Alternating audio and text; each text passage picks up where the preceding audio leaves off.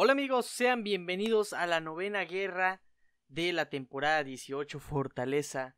Kenobi nos enfrentamos a Estela Deus, los chinos que están en tercer lugar. Y pues como estaban en tercer lugar, eh, pues obviamente sabíamos que iban a intentar ganarnos, entonces teníamos que eh, potenciarnos, pelear muy bien, tratar de ganar porque pues ellos están en tercer lugar y si están en tercer lugar es por algo no queríamos perder, no queremos porque pues queremos obtener el primer lugar, todavía es posible. Entonces, pues bueno, a echarle ganas, ¿no? Vamos al camino 6, nos estamos enfrentando a este Ghost Rider. Nada más al comienzo como que sí se complicó un poco porque eh, vieron que lo ataqué para deshacerme del Brute Force, pero mi golpe fue crítico y le había activado lo que es el poder a raudales, ya que Ghost Rider es un luchador... Eh, de control, por lo cual se beneficia del nodo global de flujo y pues ese nodo global es el que nos puso el enemigo. Entonces terminando la pelea, nada más me moví al diablo, ya de ahí esperé un buen rato eh, para pelear con él porque pues me tocaba... Ah, no, no, no, no, no. Peleé el mismo... Sí, peleé igual después de matar al Ghost Rider. Ya después me aguanté para bajar al subjefe de nodo 20. Eh, esta pelea realmente, pues yo digo que es más como diversidad, aunque los dos primeros luchadores con los que yo peleé son luchadores de flujo. El Diablo también es un luchador que se ve beneficiado por este nodo. Entonces tengo que tener cuidado al golpearlo con un golpe crítico porque pues puede activar lo que es el poder de raudales. El único, la única ventaja que tengo en este camino utilizando a Quake pues es que los, estos dos nodos son de todo o nada. Entonces el luchador no utiliza poder por ningún medio hasta que llena sus tres barras de poder. Y vieron ahí, no me, no me, se me, no se me puso difícil para nada. Y pues acabé la pelea sin pedos. Eh. Ahora sí, me potencié eh, medianamente, por así decirlo, porque eh, no quería morir con esta Black Widow. Entonces dije, vamos a potenciarnos tranquilos, Pepe. trata de, de, hacer bien la pelea. ya habíamos muerto una vez en el grupo 2, nuestro compañero murió. Entonces íbamos 0 a 1 porque pues como estos enemigos son de, son de otro país, pues en su horario ahorita cuando comenzó la guerra eran como las 4 de la mañana, 3 de la mañana, entonces pues obviamente no se van a mover a esa hora, ellos empezaron a moverse como a las 8, 9 de la noche horario de México. Eh, para ese entonces nosotros ya llevábamos como 80, 90 nodos y solo solamente habíamos muerto una vez. Eh, ya de ahí ellos empezaron a moverse y ya empezaron a morir afortunadamente para nosotros. Y pues esta pelea con la Black Widow nada más tengo que tener cuidado. Ustedes saben que es una luchadora de flujo también. Que se complica en otros nodos. Eh, estoy agradecido que me lo hayan puesto en este nodo la verdad. Eh, no se me dificultó para nada, solamente dejé que me quitara vida porque eh, creo que es preferible perder vida por el Brute Force que arriesgarse, arriesgarse a golpear al luchador y que tu golpe sea crítico y consiga más poder y ya no puedas quakear. Entonces por eso es que decidí mejor ah, que me haga daño, total no pasa nada, me curo, son unos cuantos orbes y pues ahora contra esta pelea estábamos contra este Mr. Fantástico.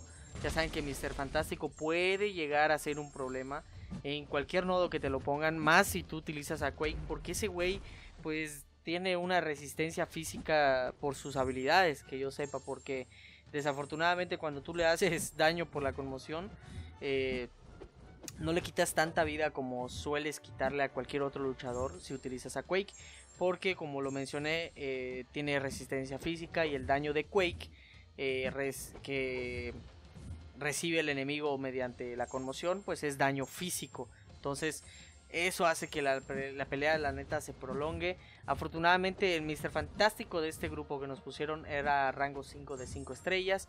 En los otros dos grupos creo que sí eran rango 3. Eh, porque lo que sí es un hecho es que esta alianza eh, copió prácticamente casi casi todos los nodos que puso en un grupo, los puso en los otros dos también. O sea, la defensa era casi igual en todos los grupos. A lo mejor nada más una persona es la encargada de, manejar su... O sea, manejar la defensa en los tres grupos. Eh, lo cual nos facilitó un poco más eh, al momento de ir asignando caminos, obviamente. Eh, porque, pues, como la mayoría de los nodos eran parecidos, pues nada más entre oficiales dijimos, ok, mira, tenemos este en el mismo, en todos los grupos, pues vamos a asignar de esta manera Ok, ¿tienen alguna mejor opción? No, ok, bueno, vamos a esto. Y así, como que se nos facilitó más al asignar. Eh, ya tenemos casi muerto ese Mr. Fantástico. Casi nos llevó los dos minutos, amigos. Casi dos minutos para poder bajarlo. Eh, es bastante tiempo, ¿eh? Y ahora sí, pasemos a lo sabroso, amigos. Lo más difícil. Me potencié, pues, a como podía. Traté de no utilizar los potenciadores de una hora que me quedan porque todavía faltan tres guerras. Eh, la guerra ya está muy, muy que ganada. Eh, el enemigo ya había terminado el mapa, pero habían muerto un total de 36 veces. Y a nosotros nada más nos faltaba eh, limpiar lo que es mi grupo. los últimos luchadores faltaban, que faltaban eran de mi grupo.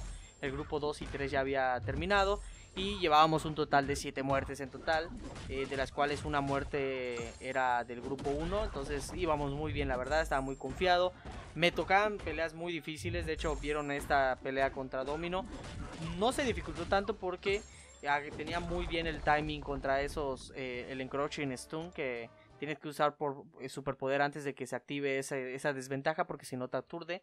Todo salió bien afortunadamente. Y ahora nos tocaba darle a ese simbionte supremo rango 3 también amigos.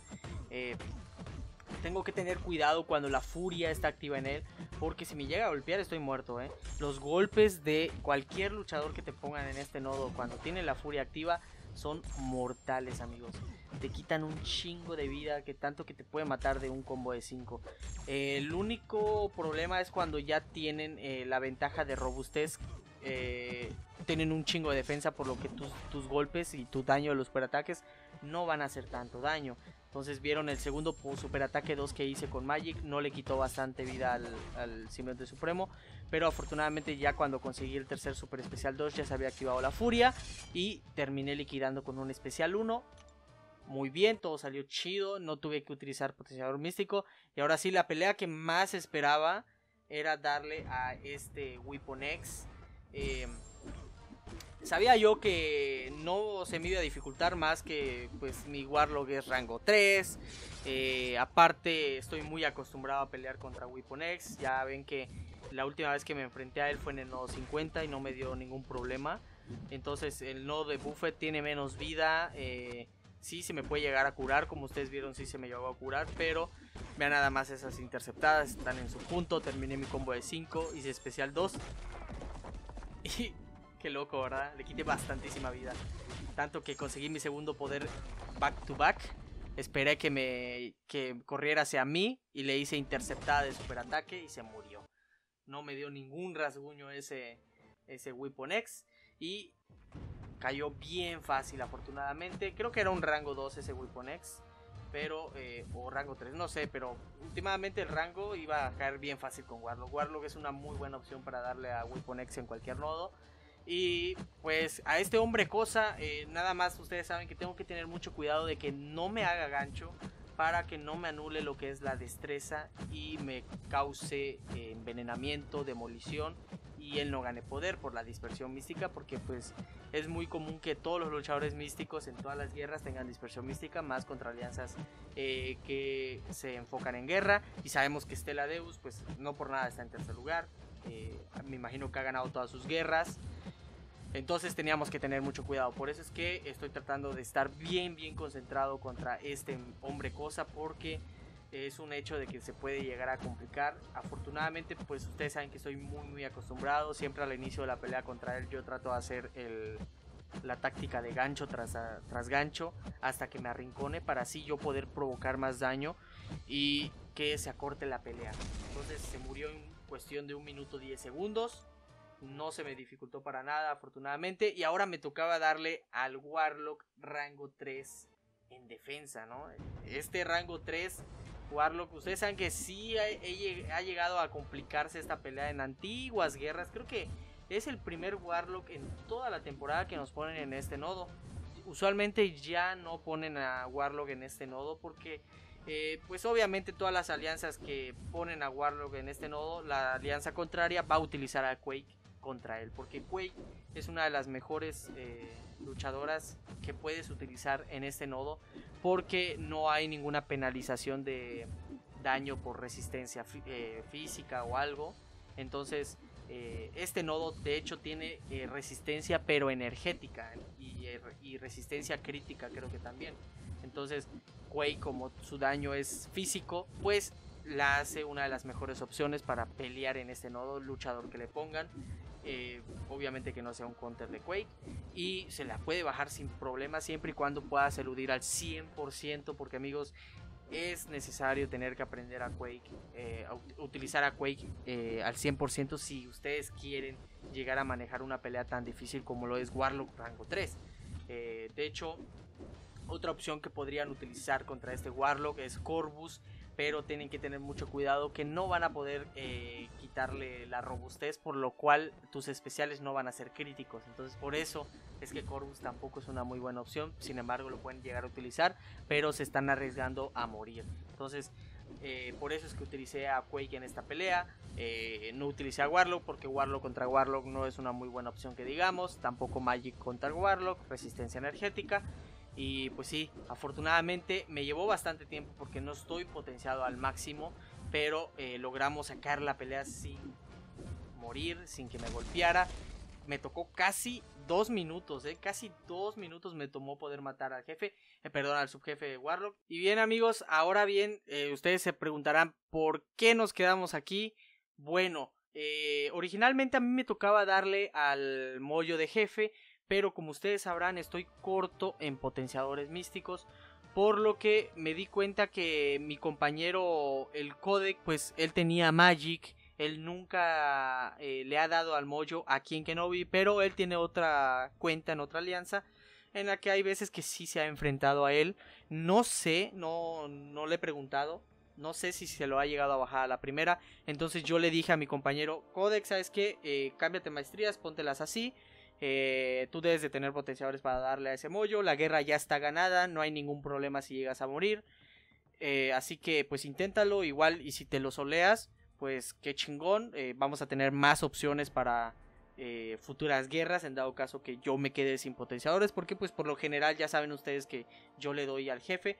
Entonces yo dije aquí, ¿saben qué? mejor ya no le voy a dar. que lo pruebe mi compañero. Y justo ahí iba a empezar la pelea. Entonces Afortunadamente eh, grabó su pelea, entonces me la mandó. Entonces se las voy a poner también en vivo y en directo también en el momento que yo estoy observando la pelea. Eh, es en la pantallita de ahí abajo y también en la pantalla de en la que está él peleando, ¿no? Eh, fue una muy buena pelea, de decir la verdad. me gustó cómo peleó. cometió uno que otro error nada más. Bueno, de hecho, a mi parecer solamente cometió un error. Y fue ya casi al final de la pelea. Toda la pelea, absolutamente toda. Eh, se la llevó tranquilo, sin ningún problema. Hace como unos 10 segundos en esta pelea, como que pudo haber atacado al Moyo, pero esperó. Porque a lo mejor había perdido un poco el timing o algo, que decidió ya no pegarle. Eh, después de esa apertura que había tenido. Eh, pero de todas maneras igual controló la pelea. Ustedes están viendo que a pesar de que el Moyo tiene sus tres poderes raudales, eh, aún así, una vez que lo bloqueas con Magic ya no hay ningún problema. Vean, tiene 100% de vida, ya recuperó toda la vida que perdió por la hemorragia. Ese es un buen tip, chavos, si ustedes utilizan a Magic. Eh, se pueden quitar la maestría de envenenamiento para que así tengan más opciones en dado caso que los llegue a golpear el jefe.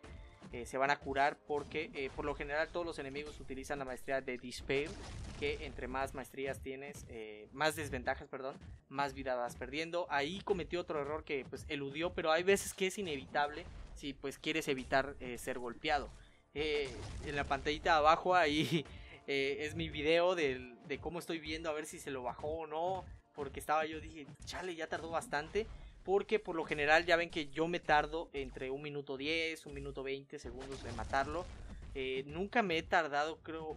Bueno, creo que cuando me quité las maestrías suicidas sí lo logré bajar en poco más de dos minutos.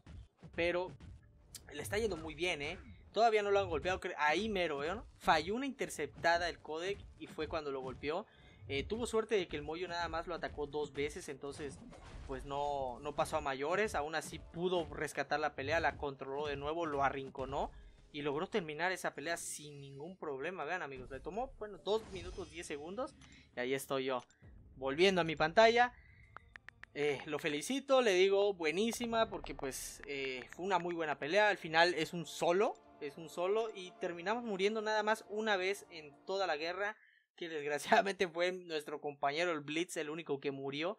porque decidió utilizar a su Omega Red y no a Quake cuando debió haber utilizado Quake en esa pelea. Entonces, ni modo, pudimos haber terminado con cero muertes en nuestro grupo. En nuestro grupo, pero eh, pues al menos eh, morimos una vez, es muy bueno, creo que ha sido la mejor guerra que hemos tenido en toda la temporada eh, en nuestro grupo. Todas las demás guerras hemos jugado muy mal, bueno, no mal, pero hemos muerto muchas veces. Y pues sí amigos, esta, esto ha sido todo por el video. Al final eh, no fue necesario que yo le diera ese mollo, afortunadamente se lo bajó a la primera mi compañero del código, así que muchas felicidades a él, la verdad, muy bien hecho. Eh, todavía no tengo los eh, las tablas de MVP porque estoy grabando el audio antes de que termine la guerra, amigos. Una disculpa, pero de todas maneras, felicidades a ambas alianzas por haber conseguido el MVP. No sé si aparezca yo ahí porque, bueno, hice nueve peleas, pero por lo del jefe tal vez no aparezca. Entonces, de todas maneras, muchas felicidades a todos. Una muy buena guerra. Mantenemos el segundo lugar por el momento, amigos, porque eh, en el momento que también estoy grabando el video, eh, pues ISO 8 ya terminó su guerra, ellos estaban enfrentando a Matrix y que creen, ganaron, ganó ISO 8 por una baja, eh, ganaron 8 a 7, se salvaron, la verdad que, uff, estuvimos a nada de conseguir el primer lugar en dado caso que hubiese perdido ISO 8, por el momento todavía nos mantenemos en segundo lugar. Esperemos en esta última semana que quedan las tres guerras poder enfrentarnos a ISO 8A para tener la oportunidad de conseguir ese tan preciado primer lugar. Vamos a ver si se consigue. Uf, esperemos no perder la racha que llevamos sin, sin perder el primer puesto, amigos.